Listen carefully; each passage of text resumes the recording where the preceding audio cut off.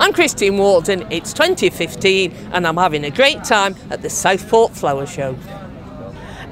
It's fantastic. Southport to me is like coming home. And when you see horticulture as excellent as this, it's fantastic. Exhibitors and stands are engaged with the theme of China. The prison gardens are absolutely outstanding, but it's that quality, and it's quality that you always see at Southport.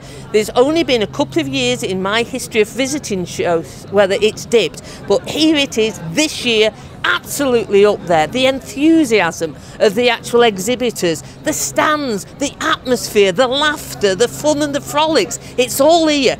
Come enjoy the show, and I can guarantee you won't be disappointed.